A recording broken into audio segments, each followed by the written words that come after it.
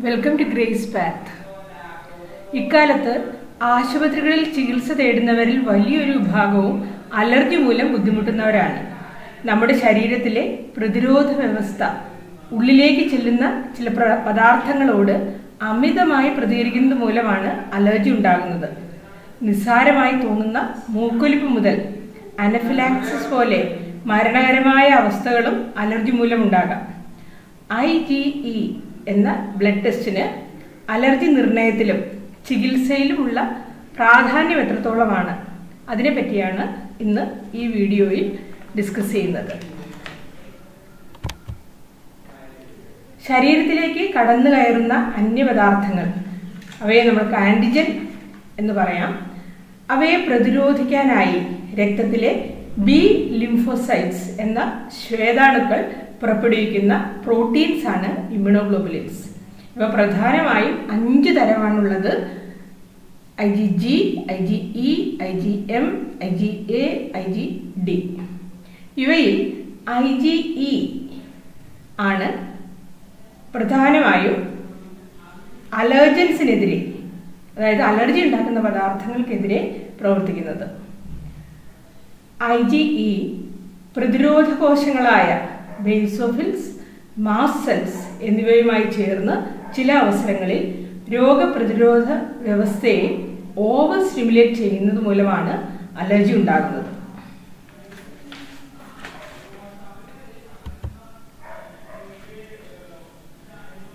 I G ഇയുടെ അളവ് രക്തത്തിൽ മെഷർ ചെയ്യുന്നത് അലർജി നിർണയത്തിനായി ഇന്ന് ചെയ്യപ്പെടുന്ന ടെസ്റ്റുകളിൽ വളരെ സാധാരണമായ ഒന്നാണ്. ഐ ജി യുടെ നോർമൽ വാല്യൂ ഒരു ലാബിൽ നിന്ന് മറ്റൊരു ലാബിലേക്ക് വ്യത്യാസം വരും.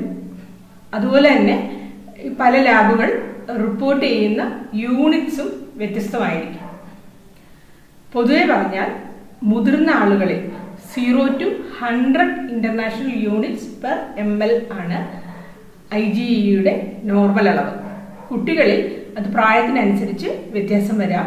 എങ്കിലും ശിശുക്കളിൽ അതായത് ഒരു വയസ്സിന് താഴെയുള്ള കുഞ്ഞുങ്ങളിൽ ഇരുപത് മുതൽ നൂറ് ഇന്റർനാഷണൽ യൂണിറ്റ് പെർ എം എല്ലും കുറച്ചുകൂടി മുതിർന്ന കുഞ്ഞുങ്ങളിൽ അതായത് ഏകദേശം ഒരു പതിനഞ്ച് വയസ്സ് വരെയുള്ള കുഞ്ഞുങ്ങളിൽ നൂറ് മുതൽ ഇരുന്നൂറ് international unit per M L വരെയാണ് ഇതിന്റെ നോർമൽ വാല്യൂ ഇനി ടോട്ടൽ ഐ ജി ഇ ടെസ്റ്റും സ്പെസിഫിക് ഐ ജി ഇ ടെസ്റ്റും തമ്മിലുള്ള വ്യത്യാസം എന്താണെന്ന് നോക്കാം. രക്തത്തിലെ ഐ ജി ഇയുടെ ആകെ തുക അതായത് എല്ലാ ഐ ജി ഇകളുടെയും ആകെ തുകയാണ് total I G E test ഇത് വളരെ സാധാരണമായി ചെയ്യപ്പെടുന്ന ഒരു ടെസ്റ്റാണ് എന്നാൽ specific I G E test ഇതിനെ നമുക്ക് allergen specific I G test എന്ന് പറയാം. ഇതൊരു പ്രത്യേക അലർജൻ അതിനെതിരെ ഉണ്ടാക്കപ്പെടുന്ന ഐ ജിയുടെ അളവാണ്. ഫുഡ് അലർജി മറ്റും മാനേജ് ചെയ്യുന്നതിൽ ഈ allergen specific I G test വളരെ ഉപയോഗപ്പെടുന്നു. അതുപോലെ തന്നെ എൻവയോൺമെന്റൽ അലർജി അതായത് നമ്മുടെ പരിസരത്തുള്ള വസ്തുക്കൾക്കെതിരെ നമുക്കുണ്ടാകുന്ന അലർജി കണ്ടെത്താനും അത് ഏത് വസ്തുവിനെതിരെയാണെന്ന് കണ്ടെത്താനും ഈ allergen specific I G test നമ്മെ സഹായിക്കും. എന്നാൽ ക്രോസ് റിയാക്ഷൻസ് ഉണ്ടാകാൻ ഉള്ള സാധ്യതയുണ്ട്. അതുകൊണ്ട് തന്നെ ചിലപ്പോൾ തികച്ചും നിരുപദ്രവമായ ഒരു പദാർത്ഥത്തിന് പോലും നമുക്ക് അലർജി ഉണ്ടെന്ന രീതിയിൽ ടെസ്റ്റ് റിസൾട്ട് ഉണ്ടാകാൻ ഇടയുണ്ട്. പൊതുവെ നമ്മൾ പറഞ്ഞാൽ ഈ specific I G test zero point three five international unit per M എല്ലിനും താഴെയാണെങ്കിൽ അതിന് നമുക്ക് ആ സ്പെസിഫിക് അലർജൻ ആബ്സെന്റ് എന്ന രീതിയിൽ കണക്കാക്കാം. Zero point three five international unit per M എല്ലിലും താഴെയാണെങ്കിൽ. പിന്നീട് അതിന് മുകളിലേക്ക് വരുന്ന വാല്യൂസിൽ low moderate high very high extremely high എന്നിങ്ങനെ ഐ ജിയുടെ അളവനുസരിച്ച് നമ്മൾ തിരിച്ചിട്ടുണ്ട്.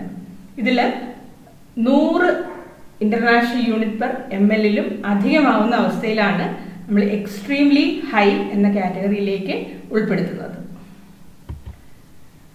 ഇനി നമ്മൾ നേരത്തെ തന്നെ പറഞ്ഞു ഈ ഐ ജി ടെസ്റ്റ് നമ്മൾ ചെയ്യാനുള്ള പ്രധാന കാരണം അലർജി തന്നെയാണ്.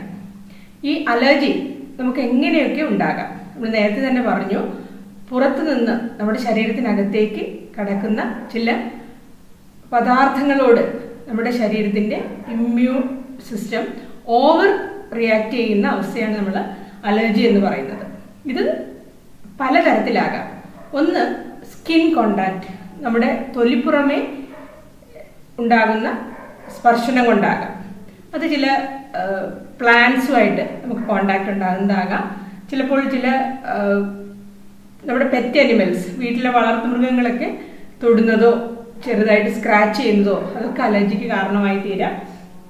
അതുപോലെ തന്നെ ഗ്ലൗസ് ഒക്കെ ഇടുമ്പോൾ ചിലർക്ക് അലർജി വരാം. ചിലർക്ക് ചില വസ്ത്രങ്ങളോട് അലർജി വരാം. ഇങ്ങനെ അത്തരത്തിൽ സ്കിൻ കോണ്ടാക്ട് കാരണം നമുക്ക് അലർജി ഉണ്ടാകാം. മറ്റൊരു റീസൺ ആണ് ഇഞ്ചക്ഷൻ അത് ഒന്ന് മരുന്നുകളാകാം. അല്ലേ? നമുക്കറിയാം പലപ്പോഴും മെഡിസിൻസ് ഇഞ്ചെക്ട് ചെയ്യുമ്പോൾ അലർജി ഉണ്ടാകാം. അല്ലെങ്കിൽ മറ്റ് ഇഞ്ചക്ഷൻ തേനീച്ച കുത്തിക്കഴിഞ്ഞാൽ ചില തേനീച്ചകൾ ഒരെണ്ണം കുത്തിയാൽ പോലും മരണകാരണമാകുന്ന രീതിയിൽ വേണമെങ്കിൽ അലർജി ഉണ്ടാകാം. അതുപോലെ തന്നെ നമുക്ക് ചെറിയ കുട്ടികളുടെയൊക്കെ കാര്യം അറിയാം. കൊതുക് കുത്തിയാൽ പോലും അവർക്ക് ആ ഭാഗത്ത് അലർജി ഉണ്ടാകുന്നതായിട്ട് ചിലർക്ക് കാണാൻ പറ്റും. പിന്നെ അടുത്തൊരു റൂട്ടാണ് ഇഞ്ചക്ഷൻ അതായത് നമ്മൾ ഉള്ളിലേക്ക് കഴിക്കുന്ന ആഹാരങ്ങളിൽ നമുക്ക് അലർജി ഉണ്ടാകാം. അത് കഴിക്കുന്ന മരുന്നുകളാകാം അല്ലെങ്കിൽ ആഹാര പദാർത്ഥങ്ങളാകാം ചില കുട്ടികൾക്ക് നമുക്കറിയാം ഈ കടൽ വിഭവങ്ങൾ കൊഞ്ച് ഞണ്ട് അങ്ങനത്തെ സാധനങ്ങളോട് അലർജി ഉണ്ടാകാം. ചില കുട്ടികൾക്ക് നട്ട്സ് അതിനോട് അലർജി ഉണ്ടാകാം. പാലിന് അലർജിയുള്ള കുട്ടികളുണ്ട്. അങ്ങനെ നമ്മൾ കഴിക്കുന്ന ആഹാരത്തോട് അലർജി വരാം. നമ്മൾ വീറ്റിലെ ഗ്ലൂട്ടൻ അതിനോടൊക്കെ അലർജിയുള്ള കുട്ടികളെ കാണാറുണ്ട്. പിന്നെ ഇൻഹലേഷൻ അതായത് നമ്മൾ ശ്വസിക്കുന്ന പദാർത്ഥങ്ങളോടുള്ള അലർജി. അവിടെയാണ് പ്രധ- പ്രധാനമായിട്ടും പൂമ്പൊടി വരുന്നത്. അതുപോലെ തന്നെ പൊടി. പലരെയും നമ്മൾ കണ്ടിട്ടുണ്ടാവും. വീട്ടിൽ പൊടി അടിക്കുകയും വെട്ടി ചെയ്യുമ്പോൾ അതിനെ തുടർന്ന് തുമ്മലും മൂക്കുലിപ്പും ചുമയൊക്കെ ആയിട്ട് വരുന്നത് പൊടി അലർജിയാണ്. പിന്നെ ചില പ്രത്യേക പൂപ്പലുകൾ അലർജി ഉണ്ടാക്കാം. അതുപോലെ മൃഗങ്ങളുടെ രോമങ്ങൾ. ഇതൊക്കെ അലർജിക്ക് കാരണമായി തീരാം അപ്പോൾ ഈ അലർജിയുടെ സിംറ്റംസ് ഇതുപോലെ തന്നെ നമുക്ക് ഏത് റൂട്ടിലാണോ വരുന്നത് അതിനനുസരിച്ച് തന്നെ അതിന്റെ ലക്ഷണങ്ങൾ പ്രകടമാകാം. ഉദാഹരണമായിട്ട് കണ്ണിൽ ചൊറിച്ചിൽ വരാം കണ്ണ് ചുവക്കുക അതുപോലെ തുമ്മൽ മൂക്കൊലിപ്പ് അതുപോലെ തൊലിപ്പുറമേ ഉണ്ടാകുന്ന പാടുകൾ ചൊറിച്ചിൽ പിന്നെ ചിലർക്കാണെങ്കിൽ ചുമ ശ്വാസമുട്ടൽ പിന്നെ കഴിക്കുന്ന ആഹാരത്തോടാണെങ്കിൽ ഛർദിലോ വയറിളക്കമോ വയറുവേദനയോ ഇതൊക്കെ ഈ അലർജിയുടെ ലക്ഷണങ്ങളായിട്ട് വരാം.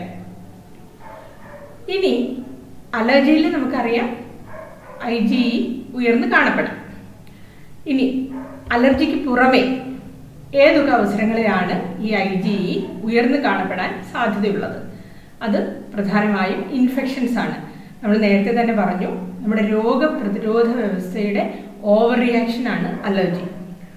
ഈ രോഗപ്രതിരോധ വ്യവസ്ഥ തന്നെയാണ് നമ്മുടെ ഉള്ളിലേക്ക് വരുന്ന രോഗാണുക്കൾക്കെതിരെയും പ്രതികരിക്കുന്നത് അല്ലേ? അപ്പോൾ viral infections bacterial infections fungal infections ഇതൊക്കെ ചില അവസരങ്ങളിൽ ഐ ജി ഇ ഉയരാൻ കാരണമായേക്കാം. എങ്കിലും ഇവയിൽ ഏറ്റവും പ്രാധാന്യം അർഹിക്കുന്നത് പാരസൈറ്റ്സ് ആണ്. നമുക്കറിയാം നമ്മുടെ കുടലിലും മറ്റും വളരാൻ സാധ്യതയുള്ള ചില വിരകൾ അതുപോലെ കൃമികൾ ഇവയ്ക്കൊക്കെ എതിരെ ബോഡി റെസ്പോണ്ട് ചെയ്യുമ്പോൾ ഐ ജി ഇ ഉയരാനായിട്ട് സാധ്യതയുണ്ട്. അതുപോലെ തന്നെ നേരത്തെ നമ്മൾ വൈറൽ ബാക്ടീരിയൽ ഫംഗൽ ഇൻഫെക്ഷൻസിന്റെ കാര്യം പറഞ്ഞു. അതിൽ H I V AIDS then tuberculosis ക്ഷയം പിന്നെ കാൻഡിഡിയാസിസ് എന്ന ഫംഗൽ ഇൻഫെക്ഷൻ അതുപോലെ സൈറ്റോമെഗാലോ വൈറസ് എന്ന വൈറൽ ഇൻഫെക്ഷൻസ് ഇതൊക്കെ ഈ ഇൻഫെക്ഷൻസിന്റെ കൂട്ടത്തിൽ ഐ ജി ഇ ഉയരാനുള്ള കാരണങ്ങളാണ്. ഇനി അടുത്തതാണ് നമ്മൾ വാദരോഗങ്ങൾ എന്ന് പറയുന്ന ഒരു വിഭാഗം രോഗങ്ങൾ. അതായത് ഓട്ടോ ഇമ്മ്യൂൺ ഡിസീസ് പല വീഡിയോയിൽ നമ്മൾ മുമ്പ് പറഞ്ഞിട്ടുണ്ട്. നമ്മുടെ ശരീരം തന്നെ നമ്മുടെ ശരീരത്തിൽ ചില കോശങ്ങൾക്കെതിരെ പ്രവർത്തിക്കുന്ന ആന്റിബോഡി ഉണ്ടാക്കുന്ന ഒരു അവസ്ഥയാണ് ഈ ഓട്ടോ ഇമ്മ്യൂൺ ഡിസീസസ് നമുക്കറിയാം ആമവാദം അതുപോലെ ലൂപ്പസ് രോഗം ഇതൊക്കെ ആ കാറ്റഗറിയിൽ വരുന്ന രോഗങ്ങളാണ്. അതുപോലെ നേരത്തെ നമ്മൾ പറഞ്ഞ ഈ ഗോതമ്പിലും ബാർലിയിലും മറ്റും കാണുന്ന ഗ്ലൂട്ടൻ എന്ന പ്രോട്ടീൻ നമ്മുടെ ചെറുകുടലിൽ ഉണ്ടാക്കുന്ന ഒരു തരം അലർജി പോലത്തെ രോഗമാണ് സീലിയാക് ഡിസീസ് എന്ന് പറയും. പിന്നെ അതുപോലെ ഈ രക്തക്കുഴലുകളുടെ നീർവീഴ്ച ഉണ്ടാക്കുന്ന കാവസാക്കി ഡിസീസ് എന്ന അസുഖം ഇവിടെയൊക്കെ ഈ ഐ ജി ഇ ഉയർന്ന് കാണപ്പെടാം. അതുമാത്രവുമല്ല ചില തരം ക്യാൻസറുകൾ പ്രത്യേകിച്ചും രക്തകോശങ്ങളുമായിട്ട് റിലേറ്റ് ചെയ്യുന്ന ചില ക്യാൻസറുകളിലും ഐ ജി ഉയർന്ന് കാണപ്പെടാം. അതിന് ഉദാഹരണമാണ് ഹോട്ട്കിൻസ് ലിംഫോമ അതുപോലെ myeloma I G E myeloma. ഇത്തരം രോഗങ്ങളിലും ഐ ജി ഉയർന്നു കാണപ്പെടാം. ഇനി ഈ ഇത്തരം രോഗങ്ങൾ കൂടാതെ ചില കണ്ടീഷൻസിൽ കൂടി ഐ ജി ഇ ഉയർന്നു കാണപ്പെടാം. അതിന് ഉദാഹരണമാണ് സ്മോക്ക് ചെയ്യുന്നവരിൽ ചിലപ്പോൾ മറ്റൊരു കാരണവും കൂടാതെ തന്നെ ഐ ജി ഇ ഉയർന്നു കാണപ്പെടാം. പെൻസിലിൻ പോലെയുള്ള മെഡിസിൻസ് എടുക്കുന്നവരിൽ ഐ ജി ഇ ഉയർന്നു കാണപ്പെടാം. പിന്നെ അതുപോലെ നമ്മുടെ കിഡ്നിയെ ബാധിക്കുന്ന നെഫ്രോട്ടിക് സിൻഡ്രോം പോലെയുള്ള രോഗങ്ങൾ ഐ ജി ഇ ഉയർന്നു കാണപ്പെടാം. അതുപോലെ തന്നെ മറ്റൊരവസ്ഥയാണ് hyper I G E syndrome. ഈ hyper I G E syndrome എന്നാൽ സാധാരണഗതിയിൽ കുട്ടികളെ കാണപ്പെടുന്ന നമ്മുടെ രോഗപ്രതിരോധ വ്യവസ്ഥയെ സാരമായി ബാധിക്കുന്ന ഒരു രോഗമാണ്. ഇത് പാരമ്പര്യമായി കാണപ്പെടുന്ന ഒരസുഖമാണ്. അവിടെ നമുക്ക് തൊലിപ്പുറത്തുണ്ടാകുന്ന അലർജി കൂടാതെ തുടർച്ചയായിട്ട് തൊലിപ്പുറത്തും ശ്വാസകോശത്തിലും അണുബാധ ഉണ്ടായിക്കൊണ്ടിരിക്കുന്ന ഒരു പ്രത്യേകതരം രോഗമാണ് ഈ hyper I G E syndrome. ഇവിടെ പലപ്പോഴും ഈ രക്തത്തിലെ ഐ ജിയുടെ അളവ് ആയിരത്തിനുമൊക്കെ കൂടുതലായിരിക്കും. ഐ ജിയുടെ അളവ് ആയിരത്തിലും കൂടുതലായിരിക്കുകയും അതുപോലെ തന്നെ തൊലിപ്പുറമേ അലർജിയുടെ ലക്ഷണങ്ങളും അതിനോടൊപ്പം തന്നെ തുടർച്ചയായി കാണപ്പെടുന്ന ബാക്ടീരിയൽ അണുബാധയും അതുപോലെ തന്നെ ശ്വാസകോശത്തിനും തുടർച്ചയായിട്ട് അണുബാധ ഉണ്ടാകുന്നതാണ് ഈ hyper I G E syndrome എന്ന രോഗം നിർണയിക്കുന്നതിലേക്ക് ഇടയാക്കുന്നത് ഇനി ഈ ഐ ജി ഇ ഉയർന്ന് ഇരുന്നാൽ നമുക്കുണ്ടാകാവുന്ന ഒരു കോംപ്ലിക്കേഷനാണ് രക്തക്കുഴലുകളിൽ പ്ലാക്കുകൾ അണിയുക എന്നുള്ളത്.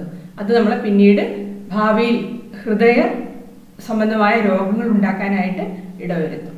അപ്പൊ ഐ ജി ഉയർന്നിരിക്കുന്നവരിൽ നമ്മൾ ഭയക്കേണ്ട ഒന്നാണ് ഇത് രക്തക്കുഴലുകളിൽ പ്ലാക്കുകൾ ഉണ്ടാക്കാൻ ഇടവരുത്തുകയും പിന്നീട് അത് ഹൃദയ സംബന്ധമായ അല്ലെങ്കിൽ സ്ട്രോക്ക് പോലെയുള്ള രോഗങ്ങളും മറ്റും ഉണ്ടാക്കാൻ ഇടവരുത്തും.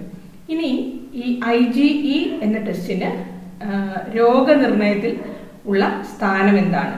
അതാണ് നമ്മളിനി പറയുന്നത്. ഐ ജി ടെസ്റ്റ് നമ്മൾ നേരത്തെ പറഞ്ഞു.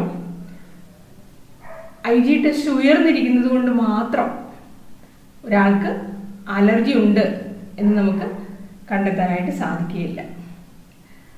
ഇനി ഐ ജി നോർമൽ ആയിട്ടിരിക്കുന്നത് കൊണ്ട് ഒരാൾക്ക് അലർജി ഇല്ല എന്നും പറയാൻ സാധിക്കുകയില്ല.